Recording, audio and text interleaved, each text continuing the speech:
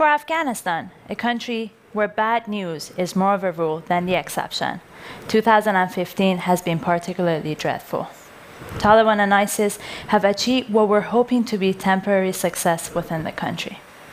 According to the latest UN report, the number of casualties have reached a new peak of 9,000 in 2015 as a result of inflicted violence in just the first 10 months of the year.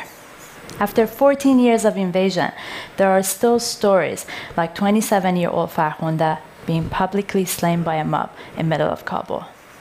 The body of nine year old Shokriya was returned to her family after she was brutally beheaded, along with six other Hazaras and ethnic Afghan minorities. Young men, as young as 11 year old Samiullah, continued to join insurgency to become suicide bomber.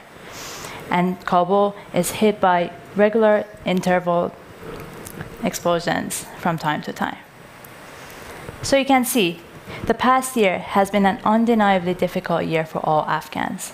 Record numbers, as many as hundreds of thousands, are fleeing the chaos by risking their lives to cross illegally into Iran, Turkey, and onto Europe. But amid the doom and gloom, how do young Afghans, which make up more than 60% of its population, hold on to hope? I spent two years photographing the youth in my home country of Iran at the end of those two years, realizing the value of my photographs, showcasing the secular youth culture of Iran for the world to see, I packed my bags and moved to Kabul to document a generation that has only known war and a subculture that no one really knows about. This group of young people, born between 1980, the first year of Soviet invasion of Afghanistan, and 2001, which marks the first year of US led military intervention of Afghanistan, are Afghan millennials. They show great resiliency and hope.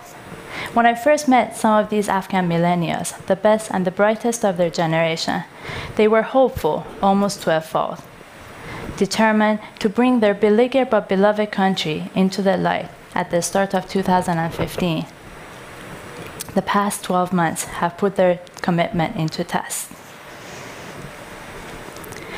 Rather than making every effort to leave and seek asylum in European countries, the secular youth captured in my photographs have stayed and strive to transform their war torn country into a more secure and prosperous place to live.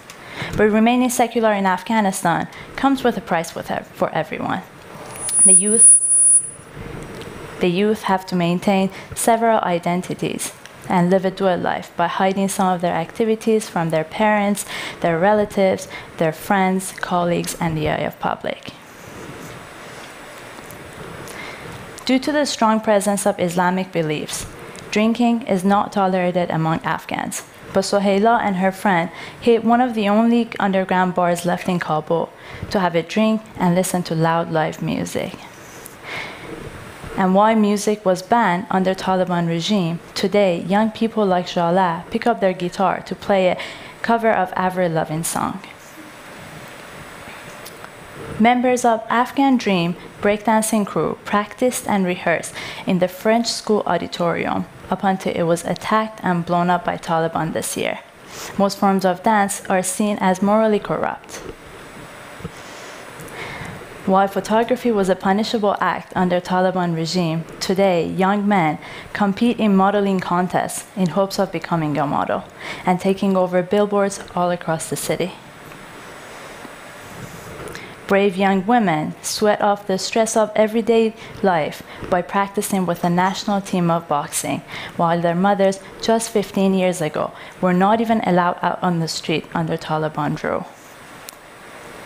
This slice of culture, led by a courageous group of young people, is not a monolithic fraction, but signals hope. One thing that many of these young men and women pointed out to me is that their generation seems to have found its voice, and it's important for the world to know it exists.